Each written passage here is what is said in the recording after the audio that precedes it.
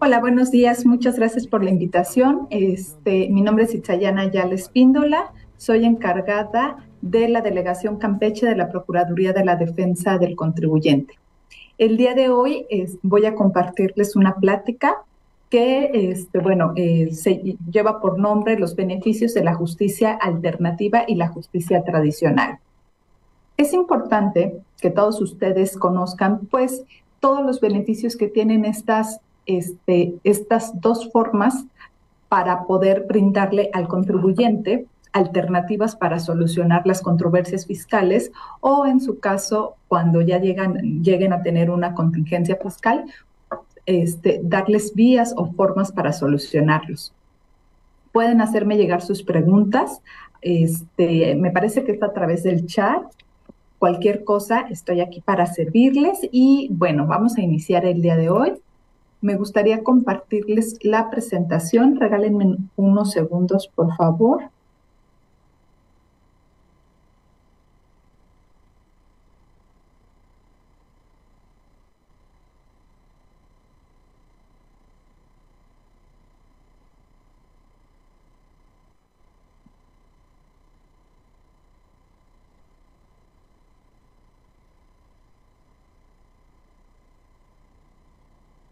Listo, me parece que ya se puede ver la presentación.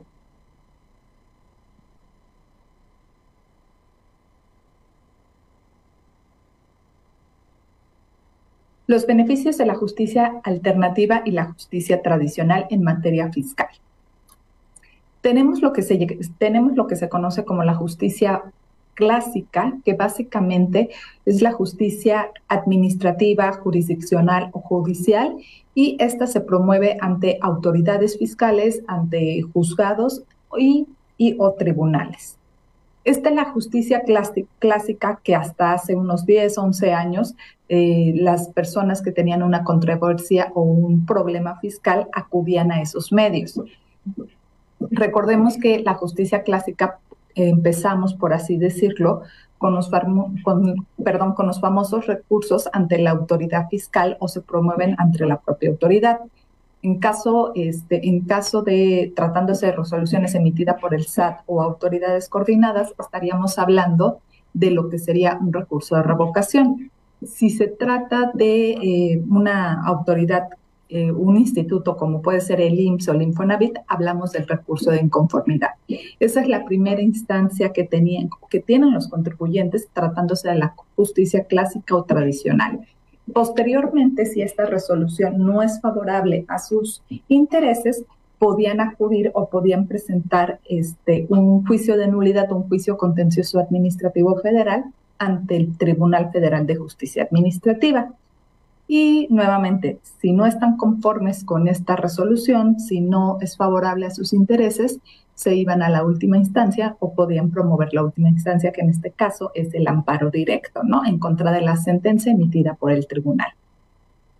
Es importante señalar que pues en materia tributaria también existe la posibilidad de eh, reclamar leyes este, que causen un perjuicio, ¿no? Y bueno, eh, si vamos a reclamar una norma, esto sería a través de un juzgado de distrito este, eh, ante el Poder Judicial de la Federación, ¿no? Y bueno, después este, en, contra de esta en contra de la norma se, promueve el famoso amparo indirecto. Si no, es eh, si no es favorable, podemos promover el amparo en revisión y posteriormente, este, bueno, si hay una cuestión o una violación a la Constitución evidente, pues incluso se puede llegar hasta la Suprema Corte de Justicia para tratar de eh, de obtener una resolución favorable. Este, asimismo, vamos a hablar ahorita de la justicia alternativa, que es la justicia no jurisdiccional y es donde entra PRODECON o donde nosotros tenemos intervención. Porque eh, la justicia no jurisdiccional busca ayudar al contribuyente, busca ayudar, es una forma, este, se complementan entre ambas y es una sinergia en favor de los contribuyentes. No está opuesta la, una con la otra. Es decir, un contribuyente puede promover un medio de defensa ante la justicia clásica y al mismo tiempo puede promover la justicia alternativa. Más adelante les, les iré explicando precisamente cuáles, este, cuáles son los mecanismos o los medios que hay en la famosa justicia alternativa. Como lo mencioné hace unos minutos, eh, el sistema fiscal lo que realmente busca es una verdad legal. Y tenemos lo que es en la justicia tradicional o clásica, que es la sede administrativa ante la propia autoridad, la sede jurisdiccional, que es ante el Tribunal Federal de Justicia Administrativa, y la sede judicial, que es el Poder Judicial de la Federación.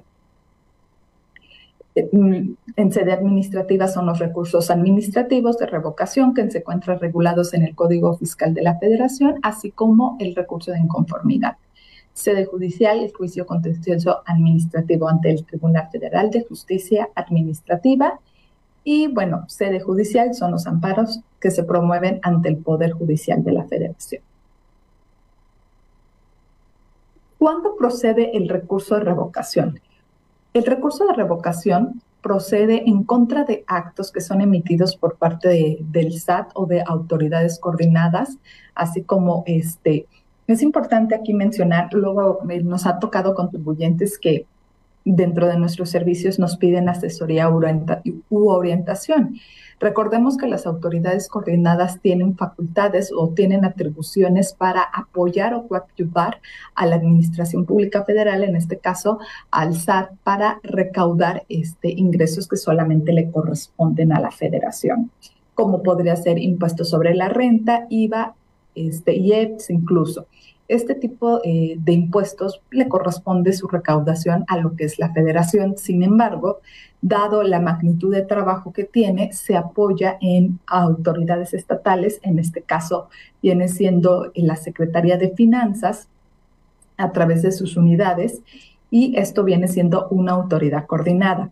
Esta autoridad coordinada puede iniciar facultades de comprobación para verificar el correcto cumplimiento de las obligaciones fiscales que tienen los contribuyentes y de igual manera puede llegar a determinar contribuciones y finalmente recaudar, porque no basta solamente que la autoridad determine la contribución, sino que también tiene facultades para cobrarla y exigir el crédito fiscal.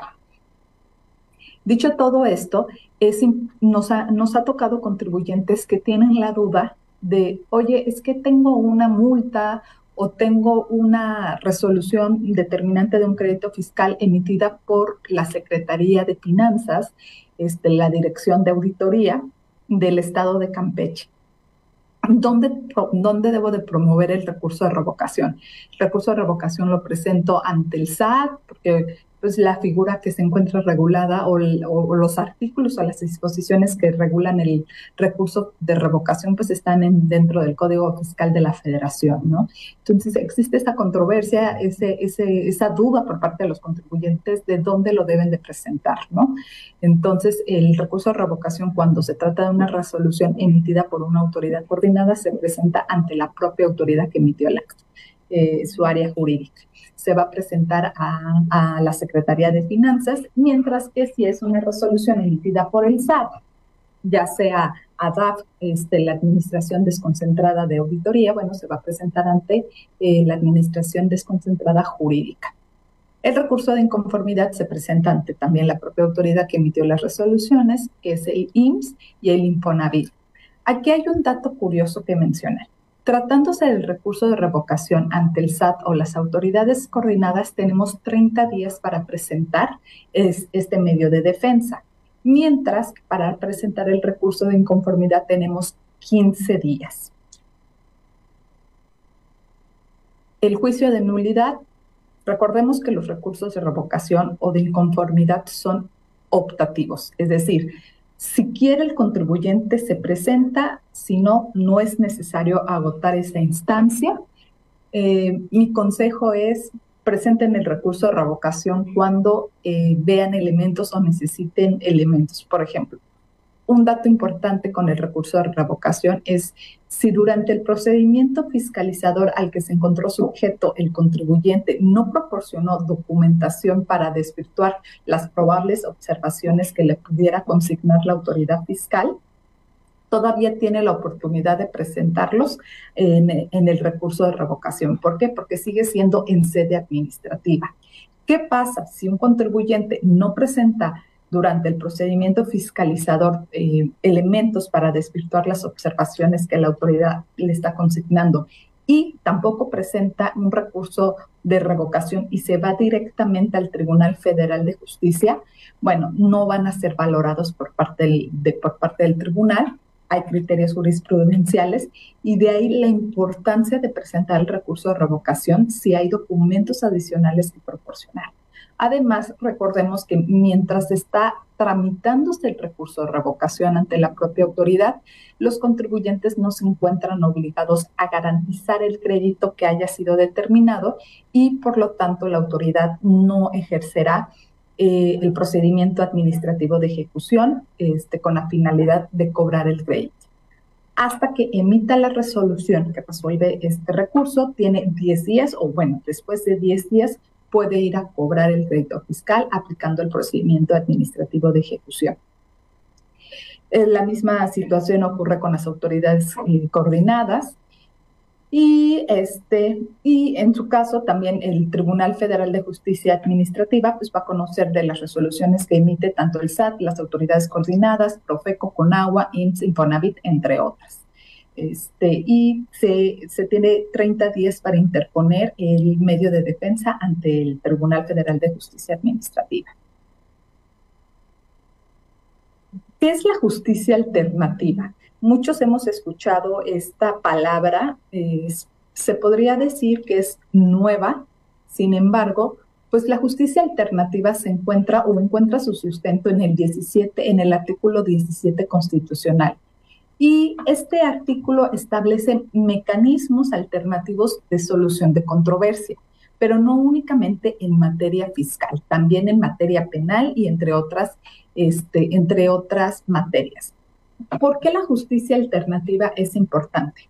Precisamente la justicia alternativa tiene como finalidad que antes de llegar a un juez o de pasar el asunto a una instancia jurisdiccional se pueda arreglar el problema.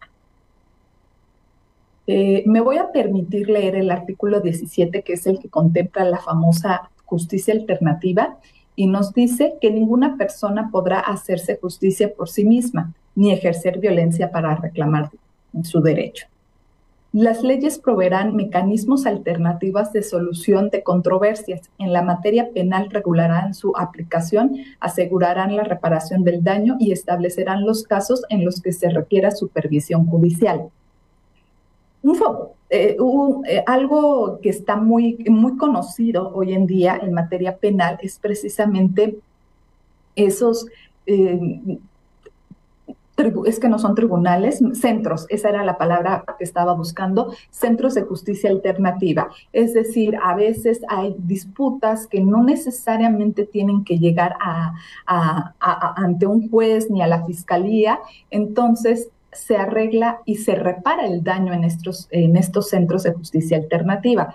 Por ejemplo, a veces, pues, eh, lesiones que, que, no son que no son tan graves, por ejemplo, una pelea entre los vecinos que se puede dar o un problema con, con un choque de un carro que a veces termina en agresiones, en unos golpes y todo, o incluso en cuestiones familiares cuando el, el cuñado ya se peleó con el hermano y, o con el suegro, una cosa así, entonces hay situaciones de violencia. En estos casos, pues eh, la solución se ve ante un centro auxiliar, ¿no? Ante estos centros, precisamente para evitar llegar a una instancia jurisdiccional o judicial.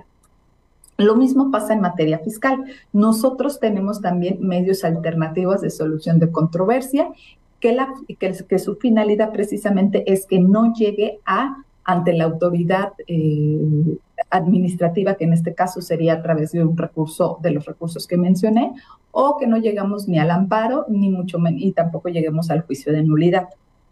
Este es la, eso es lo que busca la justicia alternativa, ¿no? Evitar llegar a esas instancias.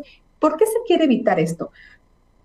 Una de las principales razones es que promover un juicio o, promover todo el aparato judicial, jurisdiccional, es un poco caro para ambas partes y además, además puede ser desgastante y de igual manera hay cosas que se pueden solucionar de manera ágil y rápida en casa, por así decirlo, sin tener que llegar a un tribunal. Hoy en día nuestros tribunales tienen muchas cargas de trabajo, entonces eh, la justicia a veces se tarda un poco.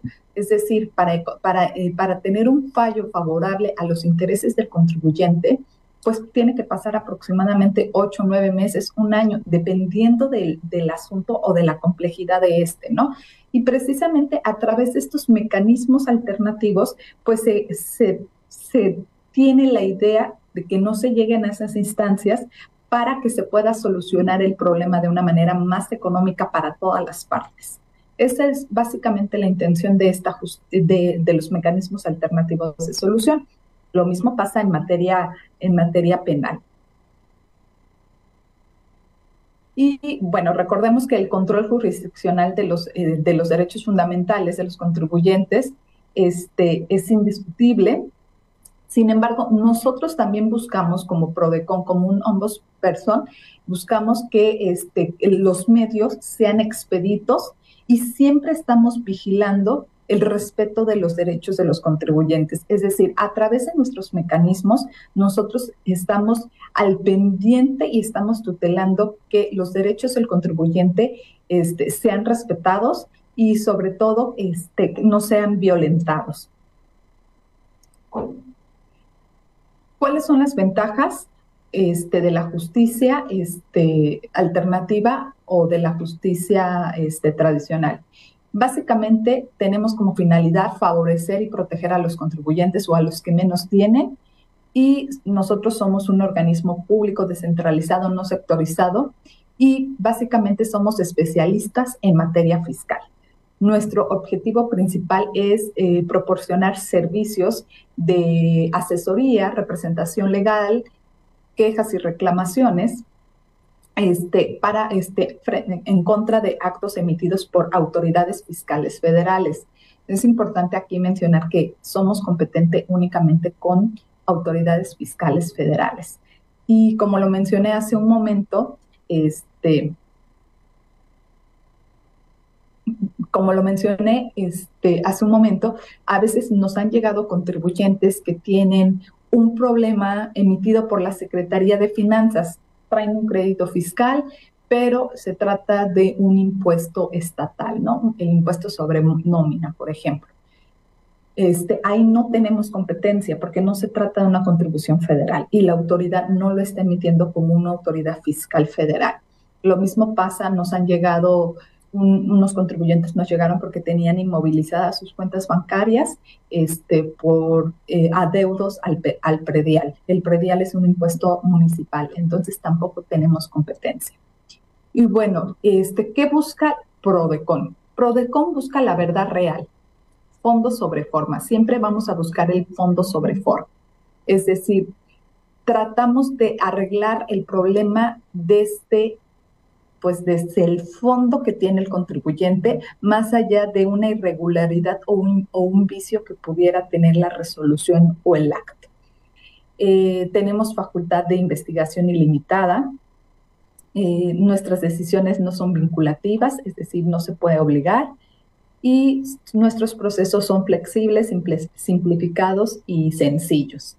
Eh, aquí un dato curioso, la verdad es que a nosotros aquí en Campeche, en el estado, nos han llegado muchas quejas por correo electrónico eh, donde nada más nos exponen su problemática y nosotros obviamente con teléfono contactamos al contribuyente de manera inmediata para ver cómo lo podemos ayudar, ¿no? ¿Qué quiero decir con esto? Que, tan solo enviando un correo electrónico al contribuyente en el cual expuso su problema, con eso pudimos, este, con eso podemos conocer este, eh, o conocer de su asunto y sobre todo apoyar al contribuyente. El sistema jurisdiccional clásico también busca la verdad, pero la jurídica o la procesal. Eh, la facultad de investigación es limitada, ya que es conforme a las pruebas que le están ofreciendo las partes. Eh, su decisión sí vincula a las partes en el litigio, es decir, si trae una sentencia donde condena a la autoridad a reparar un daño o en su defecto reconoce un derecho subjetivo del contribuyente, se encuentra obligada la autoridad, la autoridad a dar cumplimiento a ese fallo, si no, si no el tribunal puede imponerle una sanción. El, el, proceso, el, perdón, el proceso debe de cumplir con ciertos requisitos formales, que era lo que les mencionaba, ¿no? Aquí nosotros con un correo simple podemos hacer, empezar una investigación, hacer acciones con un correo donde nos exponga el contribuyente, tengo mi cuenta inmovilizada, desconozco qué autoridad fiscal fue la que le realizó y también desconozco los créditos fiscales. Mi nombre es, es Sayana Ayala Espíndola, este, adjunta el formato de queja y yo con eso ya automáticamente puedo ir a investigar qué autoridad le, perdón, qué autoridad inmovilizó sus cuentas bancarias. En cambio, tratándose de la justicia clásica, aquí sí estamos hablando de que el el medio de defensa, vamos a hablar de la demanda, tiene que cumplir con ciertos, con ciertos requisitos y formas. El nombre de la persona, del demandante, señalar un domicilio, tienen que exponer con precisión los hechos, de igual manera el agravio o el argumento, y debe de ofrecer pruebas, entre otras cosas. Entonces, obviamente es un trámite un poquito más rigorista, por así decirlo. Eh, muchas veces me han preguntado, pero ¿para qué acudo a Prodecon? ¿De qué, qué, beneficios tendría que yo acuda a Prodecon? Lo primero que te podría decir es que son unos procedimientos muy sencillos, son flexibles. La verdad es que no tienes ni siquiera en ocasiones, dependiendo del servicio que estés buscando o el servicio que requiera tu problema fiscal, pero en muchas ocasiones a nosotros nos han tocado contribuyentes que han venido afirmar la demanda, por ejemplo, la demanda de nulidad, y luego se nos desaparecen. Y cuando ya se da cuenta, le vamos a hablar de un asunto de devolución de impuestos, ¿no? Lo estamos localizando y cuando se da cuenta el contribuyente ya le cayó su dinero que le había negado la autoridad fiscal y ya tiene el dinero en su cuenta bancaria. Y solamente viene una vez a Prodecon. Entonces, este, esa es una de las ventajas que tenemos. Eh, otra ventaja, hay una relación equilibrada entre el fisco y el contribuyente. En muchas ocasiones nos ha tocado o me ha tocado escuchar, me ha tocado ver a, contribuyentes que vienen conmigo quejándose porque la autoridad no, no quiere hablar con ellos o no se pueden acercar con la autoridad. Un contribuyente cuando se está tratando de acercar con la autoridad para tratar de solucionar su problema, es porque tiene la intención de y en muchas ocasiones tiene duda o quiere aclarar algo. Puede eh, tener una duda respecto de una determinación, no le es claro de lo que tiene que hacer o muchas, en muchas ocasiones lo que yo he notado es que tiene muchas personas que lo están asesorando. Cuando un contribuyente tiene un problema, y creo que también pasa para cualquier persona que tiene un problema, vamos a decirle un problema civil, un problema penal, todos, este, todas las personas acuden que, ay, el amigo de mi tía es abogado y me dijo que hiciéramos esto. El amigo de mi tía es contador y me dijo que hiciéramos eso. Entonces, al contribuyente le llegan bastantes, este, le llegan bastantes ideas o obviamente eh, consejos por parte del primo, del tío, del pariente, del contador, ¿no? Que este, y no saben qué hacer, ¿no? Tratan de llegar con autoridad y a veces la autoridad no les permite ese acceso tan fácil, porque también en, en, algunas ocasiones el contribuyente ni siquiera sabe qué tiene que llegar a plantear, ¿no? Entonces nosotros ahí es cuando entramos. Este, hay una relación entre contribuyente y el, fisco y obviamente también nosotros este, le, explicamos y le exponemos su problemática fiscal que tiene y lo que tiene que hacer tratamos que si tienen despachos o si tienen contadores y todo y a veces están mal informando al contribuyente y todo, tratamos de enderezar al contribuyente de una manera, pues a veces hay información que, que, eh, que, que, retienen de manera indebida. Y bueno, eh, también tenemos una nueva visión del conflicto tributario este, fondo sobre forma, como lo mencioné. Eh, muchas veces ah, cuando tengo reuniones con la autoridad y con el contribuyente y checo las, los hechos que están consignados o las observaciones que la autoridad le señala al contribuyente, pues en algunos casos advierto que la autoridad tiene la razón, está aplicando la, la ley conforme, conforme debe de ser aplicada, ¿no? Y el contribuyente realmente incurrió en una irregularidad, probablemente por desconocimiento, probablemente porque por mala información de por parte de su contador o simplemente quizás en algunas ocasiones con toda la intención, ¿no? Cuando esto llega a pasar, no yo como Prodecon no, no intervengo ni trato de defender lo indefendible, al contrario, eh, motivo al contribuyente, porque también ese es parte de nuestro trabajo, una nueva cultura contributiva. Entonces, trato de motivar al contribuyente a que regularice su situación, haciéndolo ver que aun y cuando quiera presentar los medios de defensa a través de la vía tradicional, no tiene posibilidades de obtener un resultado favorable y al final, obviamente, el impuesto va a incrementarse. ¿Por qué? Porque se recarga, es decir, recargos y actualizaciones. Entonces, con, con el transcurso del tiempo, el, el, crédito fiscal, si llega a tener uno, se va incrementando, incrementando y después se vuelve una bola de nieve para los contribuyentes, porque si en un principio debían 150 mil pesos, ya después están debiendo 300, 400 mil y eh, se vuelve quizás hasta imposible cubrirlo. Entonces, es ahí donde nosotros como institución nos sentamos, platicamos con el contribuyente, lo hacemos ver, esto estuvo mal y también de igual manera, si hay una, si, eh, si la autoridad está realizando una interpretación diferente a la que pudiera dar el contribuyente, tratamos de sentarnos con la autoridad para explicar y que exponga muchas veces el modelo del negocio del contribuyente, porque a veces mm, desconoce la autoridad cómo opera, cómo funciona y eso, eh, eso pues limita un poco o repercute en perjuicio del contribuyente. Sin embargo, eso es lo que nosotros también tratamos de hacer. Y bueno, nosotros tenemos el primer medio alternativo de solución de controversias en auditoría fiscal, que son los acuerdos conclusivos. A través de este medio hemos apoyado, de este mecanismo, hemos apoyado a la autoridad eh, a recaudar y sobre todo también hemos logrado que los contribuyentes este, desvirtúen observaciones que, que llegan a tener este, por parte de la autoridad.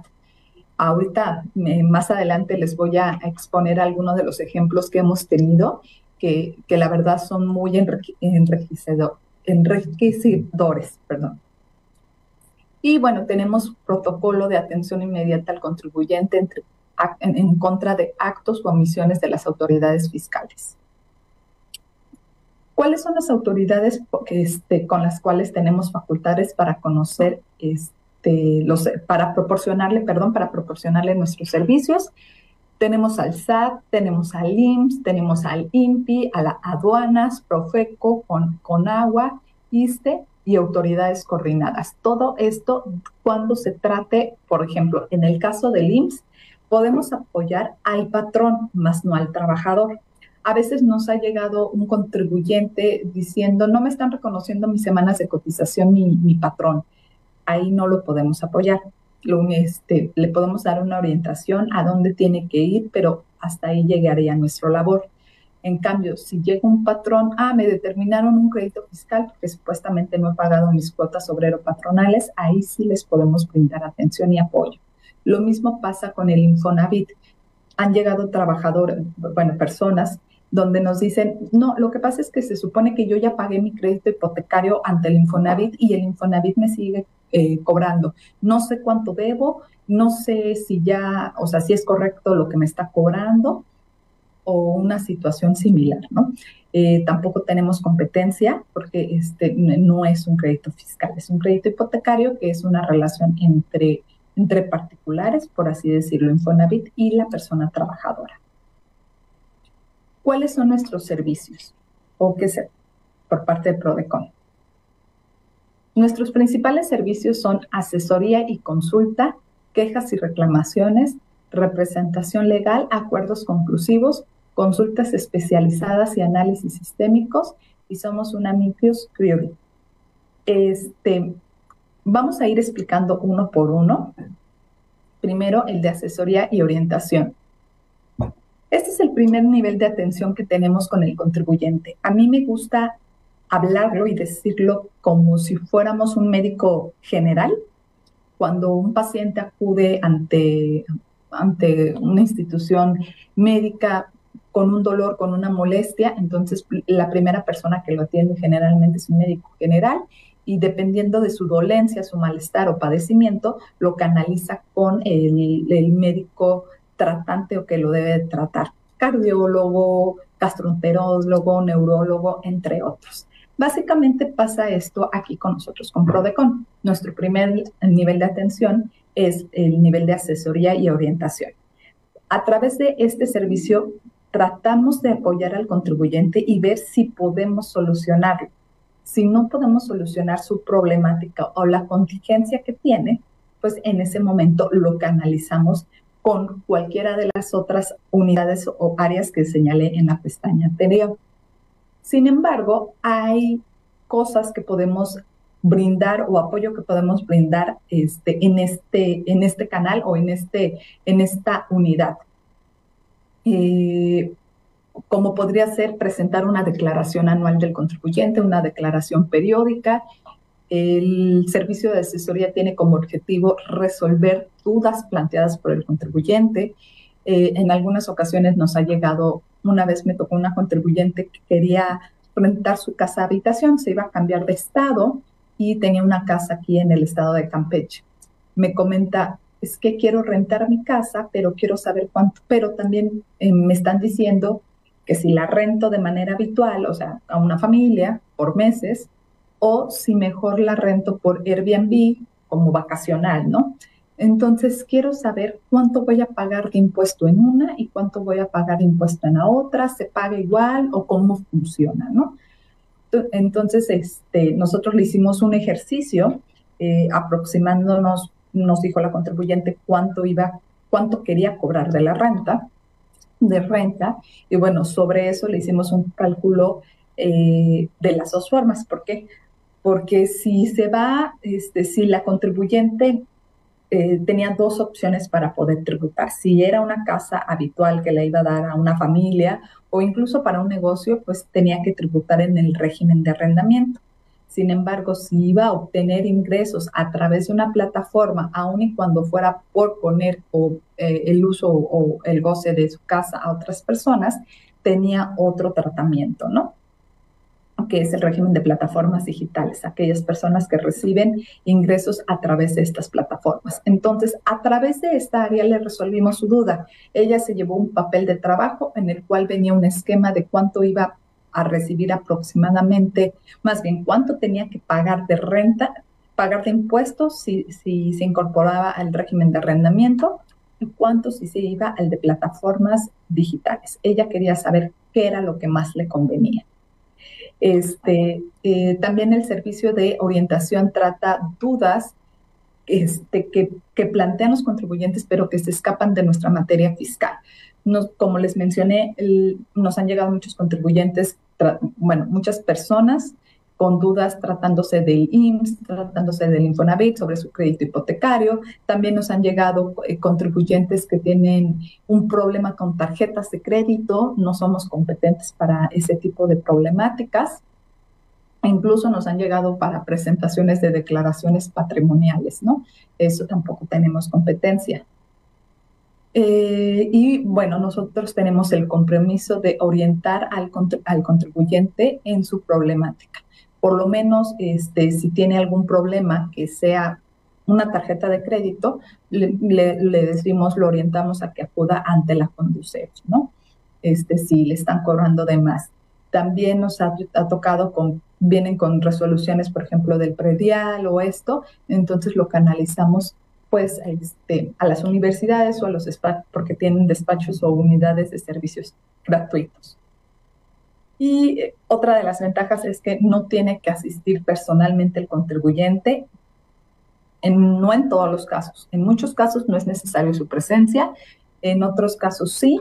Tenemos también asistencia remota, tenemos plataformas, este, incluso hay, mucho, hay, una, hay una plataforma o tenemos unos mecanismos que se llama ProDebot. ProDebot es una de las herramientas que se encuentran en la página de internet dentro de Cabil y ProDebot es un robot que básicamente nos resuelve las dudas básicas que pudiera tener un contribuyente. Es decir, es, es un asistente virtual. Los eh, pueden ingresar a la página de Prodecon y ahí van a encontrar a la asistencia, al asistente virtual, se presenta. Obviamente va a pedir datos generales como nombre, teléfono, correo electrónico y muchos, en muchas ocasiones da una orientación o una guía al contribuyente sobre lo que tiene que hacer. Eh, esta es una buena herramienta si realmente necesitas o, solo requieres una atención para cuestiones básicas. Si tu problemática es mayor o requiere un grado, más bien un especialista, bueno, eh, ProDebot te va a decir o va a tomar los datos y posteriormente un asesor se va a comunicar contigo. La verdad es que es, no, esta herramienta surgió con la pandemia, eh, a raíz, bueno, en el 2020, después de la pandemia que, que arrasó pues, mundialmente, todo el mundo tuvo que improvisar en la forma de trabajar, ¿no? Entonces, pues nosotros empezamos, implementamos mecanismos virtuales para poder atender a los contribuyentes y llevarle los servicios, eh, nuestros servicios a los contribuyentes de una manera más eficiente, más segura y bueno, por eso surge este, esta herramienta, esta, este ProDebot. ¿Qué hacemos en asesoría? Bueno, en asesoría podemos presentar declaraciones mensuales informativas, podemos aclarar requerimientos por parte del SAT, CEAFI, IMSS, Infonavit. En, en, ocasiones llegan contribuyentes, oye, recibí en correo electrónico esta carta de invitación o este requerimiento, no sé de qué se trata, ¿qué puedo hacer? Nosotros podemos apoyarlo a contestar ese requerimiento o atender esa carta de invitación. ¿Por qué es importante que los contribuyentes atiendan? La verdad es que a lo largo que llevo este, en la institución, eh, me he dado cuenta que muchos contribuyentes, algunos desconocen la materia fiscal, otros le tienen pavor o miedo a la materia fiscal. Entonces, escuchan algo del fisco y eh, prefieren esconderse, eh, prefieren no atenderlo, porque incluso algunos este, piensan, muchas veces me han llegado a, a mí a decir, me van a meter a la cárcel. Y es, a ver, espera.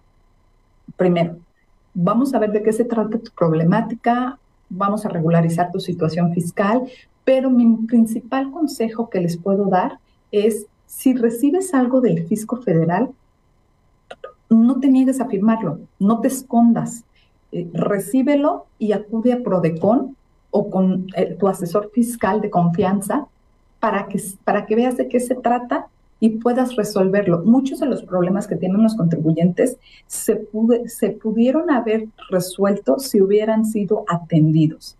Nos ha pasado, tristemente he visto aquí casos que la Policía Federal ha impuesto multas a contribuyentes, multas de 6 mil pesos, eh, porque pues, no cumplió con, con, los lineamientos que marca eh, las reglas de tránsito y les dan la boleta y ellos deciden guardar, no hacen nada.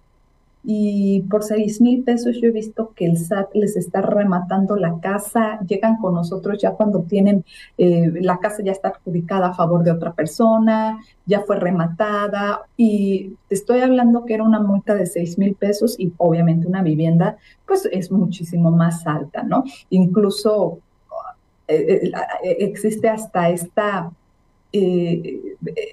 la, propia autoridad dice, es que le busqué de mil formas, lo busqué de mil formas para tratar de embargarle otra cosa o de cobrarle otra cosa para no llegar a este extremo, pero el contribuyente se me escondía. Entonces, ¿creen los contribuyentes que porque se les escondan o no reciban el documento o no firmen? Porque a mí me han llegado contribuyentes así de, pero no lo firmé. Es que no importa que no hayas firmado, la autoridad tiene medios para hacerte tu conocimiento el acto que quiere que conozcas. Está la figura por estrados, entre otras. Entonces, el hecho de que no firmas o no recibes o ignoras o ignores este, tus obligaciones o ignores lo que pudiera llegar a pasar, lo único que va a traer es que las consecuencias se pueden agravar y pueden ser eh, este, más agresivas para ti. Entonces mi consejo es siempre estar localizado, proporciona tus teléfonos, proporcionas tus datos de contacto a la autoridad fiscal, más vale que recibas para estar consciente, eso es parte de la cultura contributiva que nosotros fomentamos como institución. Eh, recibes el documento, de manera inmediata llega a Prodecon, nosotros te vamos a brindar asesoría de lo que tienes que hacer y cómo se puede resolver tu problemática.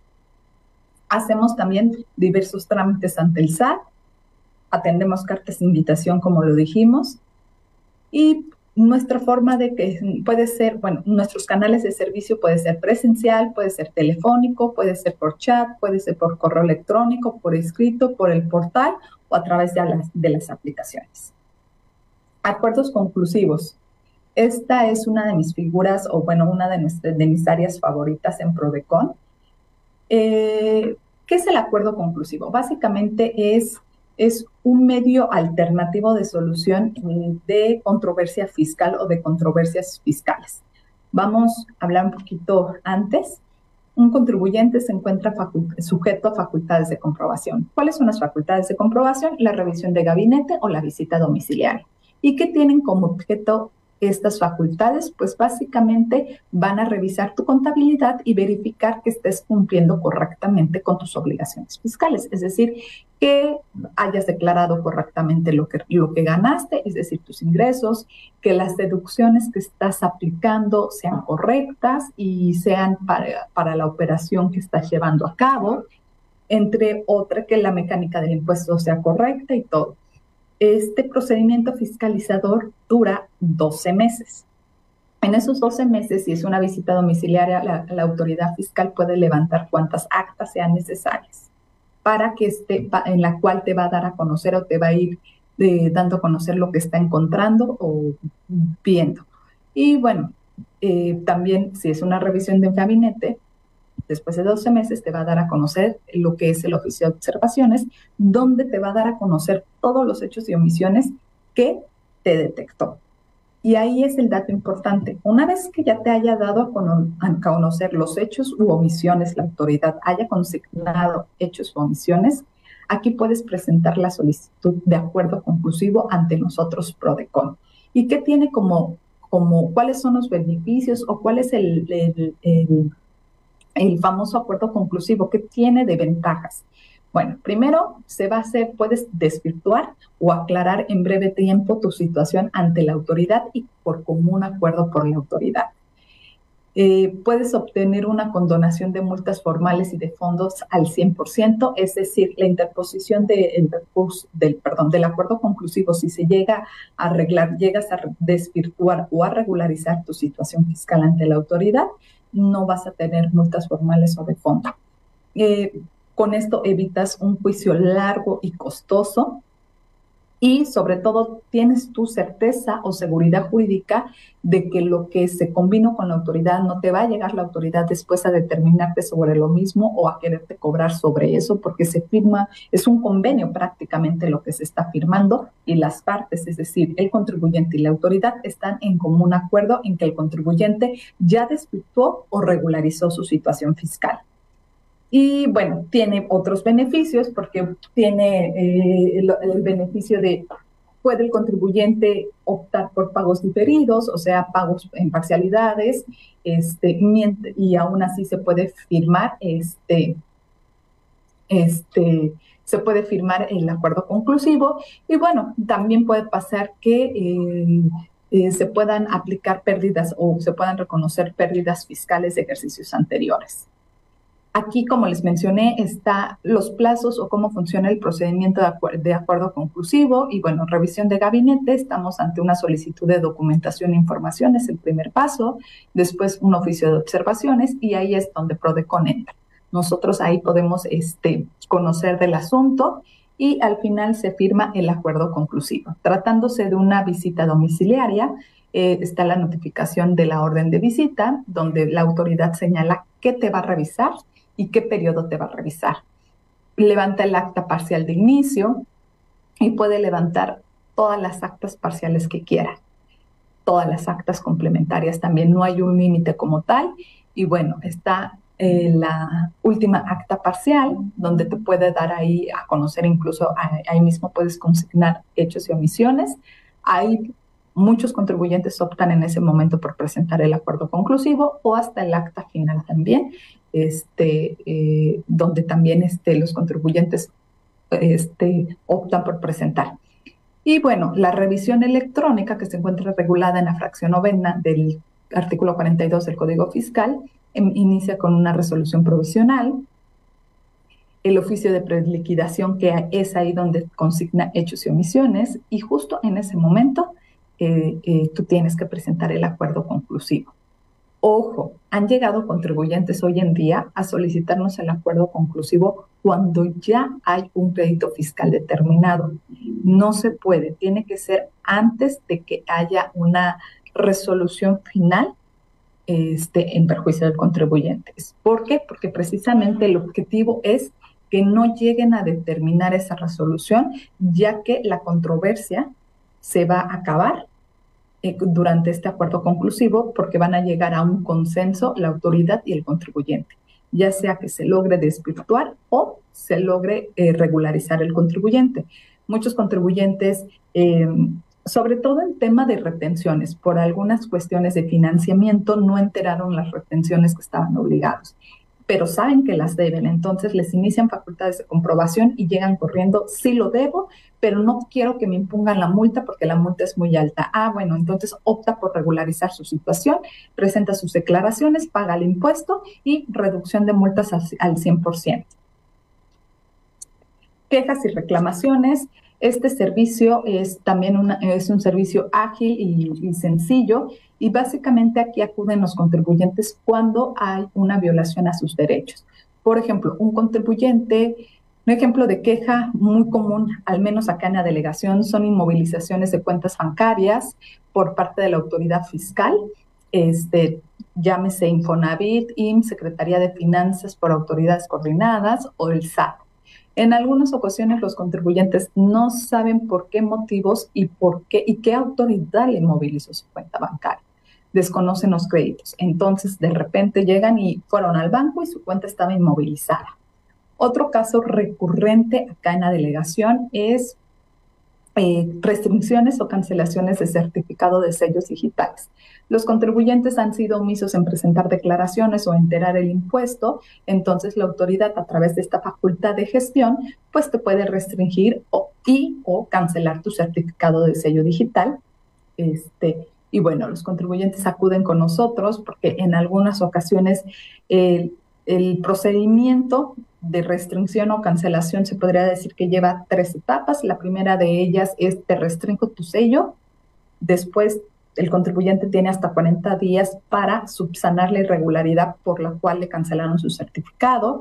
Para mí esa es la etapa probatoria y la autoridad se supone que la autoridad tiene la obligación de levantar la restricción al día siguiente en que el contribuyente presenta su caso de aclaración. Y posteriormente va a haber una resolución final donde decide la autoridad si permanece cancelado o restringido el certificado o si ya el contribuyente logró desvirtuar su, su certificado, eh, digo, la irregularidad.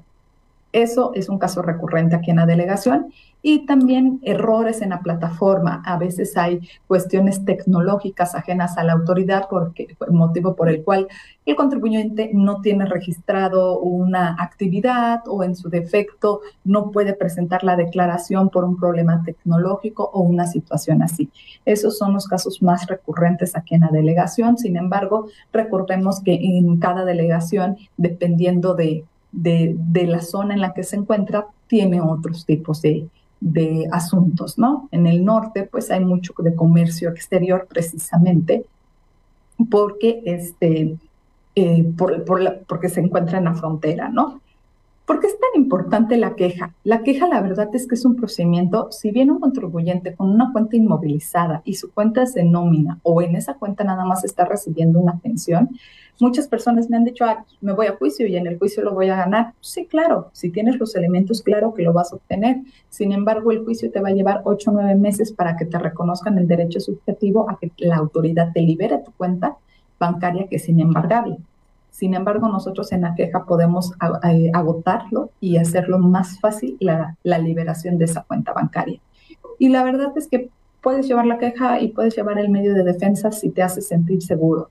También para, para la restricción o cancelación del sello digital, recordemos que hasta que está la cancelación del certificado, hasta ese momento el contribuyente puede interponer un medio de defensa. Y pues a veces me ha tocado contribuyentes que presentan el caso de aclaración y no les han, no les han permitido o restablecido el certificado del sello digital. Entonces, de ahí la importancia, además de que la queja, precisamente por la intención que tiene, se debe de tramitar de manera ágil, sencilla y pues eh, rápida.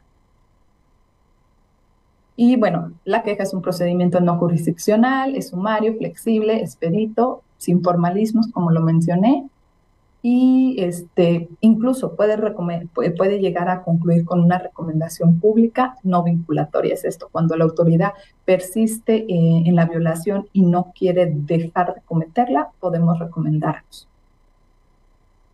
Y bueno, los casos más comunes que hemos resuelto en quejas es recuperación de bienes inmuebles embargados o adjudicados por autoridades fiscales, por errores de las propias autoridades, como puede ser un caso de homonimia.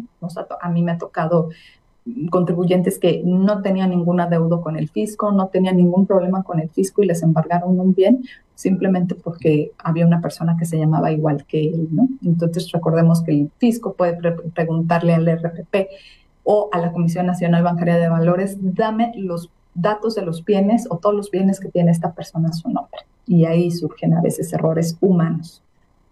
Eh, puedes obtener devoluciones que fueron rechazadas sin, eh, fundamento, eh, restitución de efectos retroactivos de cualquier régimen, puedes aclarar cuestiones y también puedes obtener constancias de retenciones, comprobantes fiscales cuando no te los quiera dar tu, proveedor o la persona que te está dando, este, o que te tendría que emitir el comprobante.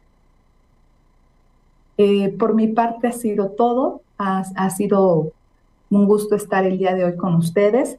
La verdad es que no pude ver las preguntas porque no, no puedo abrir el link, lo estuve intentando. No sé si mis compañeros me puedan apoyar, pero bueno, de cualquier moda, duda, digo, de cualquier modo, si tienen alguna duda, alguna aclaración, aquí están los teléfonos de contacto de la delegación Campeche, este, el correo electrónico, nuestro teléfono y nuestra dirección para, para, los, para las personas que nos estén viendo aquí en el estado.